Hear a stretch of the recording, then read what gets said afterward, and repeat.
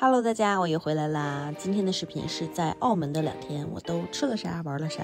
其实澳门是九月份的时候去的，不过最近工作稍微有点小忙，所以这个 vlog 也是一拖再拖。十一长假刚刚从洛阳出差回来，去之前本来也打算录 vlog 的，但一想我手里积压如山的 vlog 素材，还有欠下的工作，我就觉得，嗯，我还是放过自己吧。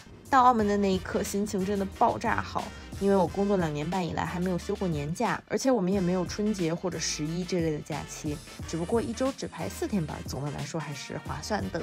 只不过跟朋友们的周末还有放假时间就凑不到一起去了。不过这次跟爸妈来真的很开心，很幸福，一家三口已经很多年没有一起出游了，而且这次也算工作以来第一个纯纯正正的一周放空，可以说那个做的梦啊都是摆烂的梦。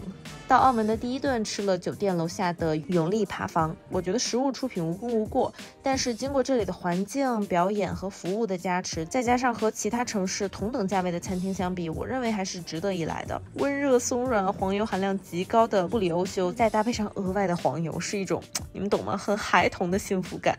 像法棍配黄油，在我看来就是一种偏老成一点的美味，我也很喜欢。牛排我们点了湿式熟成，其实干式熟成是招牌，只不过我们家在飞机上都吃了一口，就不太饿，就不太想点太大份的肉了。吐槽一下，这个牛排上来居然没有什么温度，然后这个盘子也冰冰的。不过那天晚上和爸妈聊天真的太开心了，就原谅了牛排的不 OK。回到房间还觉得差口甜的，就点了种草已久的杨枝金捞的外卖。之前看何超莲推荐了这家的榴莲飘香，这次终于吃到了，确实不错啊，能吃到绵密新鲜的榴莲果肉，就是总体好像有点太甜了，我吃了一半就觉得有点嗯齁得慌。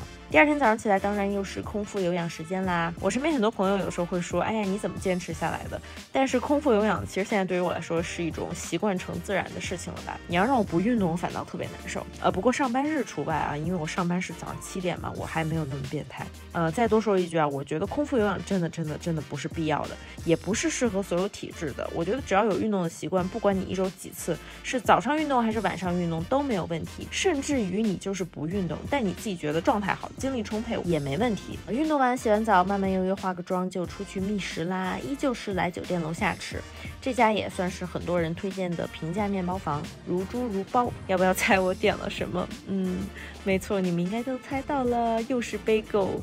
这次点了一个咸口的牛油果大虾贝果。我觉得这个贝果的韧劲儿差点意思，给的这个酱酱实在是太多太多了。我又跑去买了一盒沙拉就着吃，不然真的会腻爆炸。优点是大虾真的非常鲜甜，我甚至怀疑他们是不是用的鲜虾，因为吃着真的不像是那种冷冻虾。下午呢，就是在各个酒店和 mall 之间来回穿梭，欣赏一下澳门的建筑，感受一下这份独特的纸醉金迷。但这种金碧辉煌的装修吧，看久了还真让我有点头晕。我们就换了一个接地气儿的地方当街溜子，就来到了澳门的路环岛。远离喧嚣和繁华，这里安静的就像一个小渔村，仍然保持原有的自然风光。不过大名鼎鼎的安德鲁蛋挞总店也算是为这里吸引了不少游客。我还发现香港、澳门这边很多的铁皮拉门上都有这样的刻字。回来我还查了半天，这其中有没有什么特殊的典故？后来发现好像是我想多了。不过这也算是澳门一个小小的城市特色吧。然后接下来这一幕看到，其实心里酸了一下。前面的老爷爷老奶奶会让我忍不住联想到爸妈以后老去的样子，也不禁感慨，我甚至想不起上一次和爸妈这样三个人出游是什么时候了。感觉大家长大之后都会习惯性的把空闲的时间先分给朋友吧，但在这一刻真的觉得应该更有意识的多陪家人。虽然我跟爸妈平时都住一起，朝夕相处。但是很少真正的把时间留出来和他们计划出游或者吃一顿有仪式感的饭。其实仪式感给我们带来的不仅是一种平素里的变化和新鲜感，还给我们制造了很多可以去回味的记忆点。比如说这个安德鲁蛋挞，虽然在肯德基也能吃到大差不差的，但是正因为是在澳门安德鲁总店，正因为这一天下午阳光是这么的温暖。正因为是和爸妈在一起，所以还是觉得格外的好吃呢。晚上我们来吃海鲜火锅啦！到澳门怎么能不吃海鲜火锅呢？在大众上上找了一家评分很高的餐厅，但是到了之后觉得稍微有点人烟稀少，不过味道还是不错的啦。雪花牛肉够肥够新鲜，我很爱。葱姜蟹也是我的必点。蒜蓉粉丝蛏子王也是特别的下饭。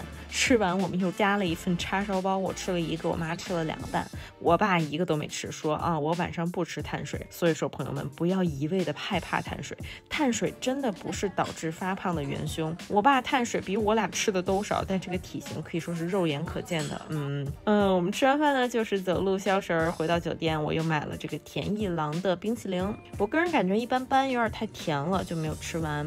第二天起床依旧是空腹有氧，然后换了一身多巴胺穿搭，就又到了愉快的干饭时间。今天中午这家是这次旅行最最期待的一家餐厅，好朋友大力推荐的玉龙轩。也是米其林三星和黑珍珠三钻。特别逗的是，这顿饭还发生了一个，呃，我现在看来很搞笑的小插曲。想嘲笑我的朋友可以小声啊，呃，就是我因为特别鸡毛蒜皮的小事儿被我爸妈给气哭了，直接在餐厅表演了一个泪洒现场。其实我平时自认为还算是情绪稳定的人吧，除了看电影，我几乎没哭过。但可能在爸妈面前，不管几岁，都还是个小孩吧。你们看到这里已经是哭完和好的画面了。本来我不想录的，我爸说：“哎呦，没事儿，这不就是旅行中最真实的画面吗？”好了好了，说回这顿饭，菜品是真的无可挑剔，鱼子酱、脆皮烤乳猪和这个烧鹅，千万不要错过，太好吃了。可惜前面吃的点心我没尝出来啥味儿，当时还在怄气。吃完饭呢，就收拾收拾，坐小船出发去香港啦。好啦，这就是我愉快外加有一点搞笑的澳门 vlog 了。那我们就香港的 vlog 再见吧，拜拜。